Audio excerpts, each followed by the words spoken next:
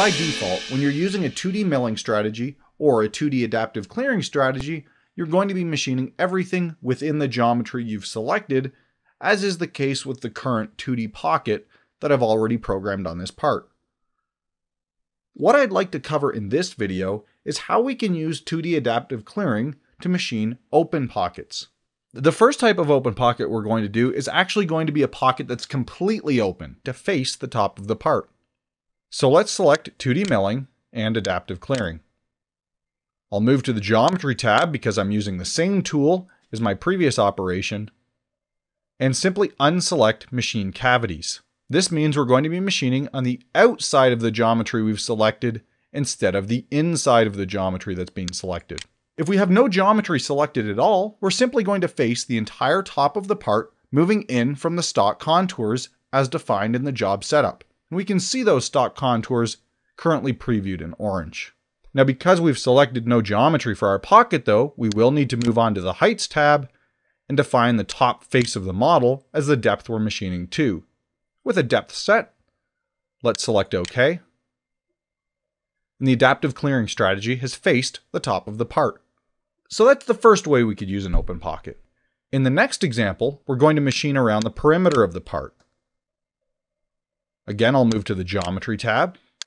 And this time for my model definition, I'm going to select the outside perimeter of the part. I'm going to uncheck machine cavities so that we're machining on the outside of the chain selected moving in from the outside of the stock that was defined in the job setup. I'll select OK, and the stock around the perimeter of the part is machined.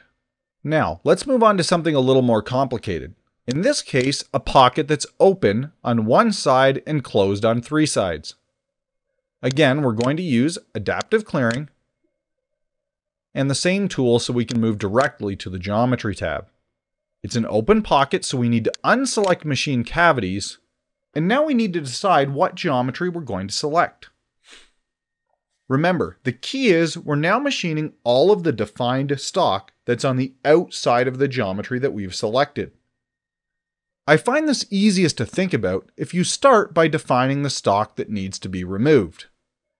So we're going to go to stock contours and change that definition from the entire stock boundary that was set up in the job to simply the area of stock that needs to be removed.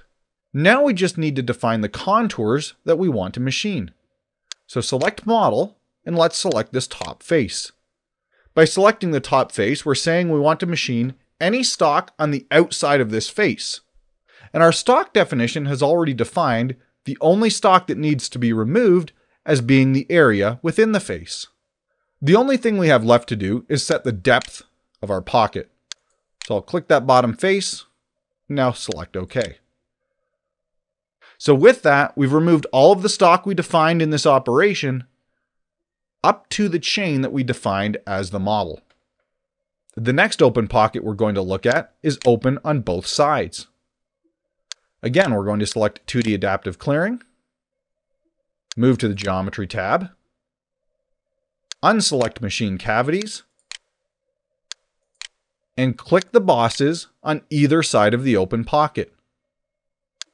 For the stock, we'll select the face that defines the stock that needs to be removed. Click OK. And the machining operation is only going to remove that stock that we've defined. If I wanted the machining operation to go over top of this pocket as well, I could edit the operation, and instead of selecting that face, I'll clear that selection and select the contour around the outside. I'll click OK, and now my roughing operation is open on both sides and finish machining the walls that were defined as my model. Let's move on to machining a pocket that's open on three sides and has an island. I'll select 2D Adaptive Clearing, move to the Geometry tab, and select the two chunks of geometry that I need to keep. I'll unselect Machine Cavities, and I'll define the stock that needs to be removed. On the Heights tab, I am going to define the depth that I'm machining to, and select OK. Again, we're machining all of the stock on the outside of the contours that I've selected. Well, I hope this little video has been a help to HSMXpress users.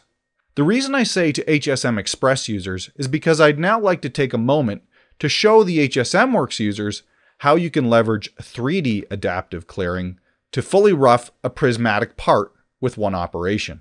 Let's select 3D milling and adaptive clearing.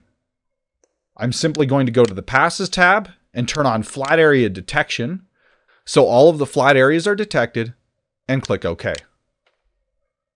HSMWorks will find all of the various levels and go about using an adaptive strategy to rough the entire part again in a single operation.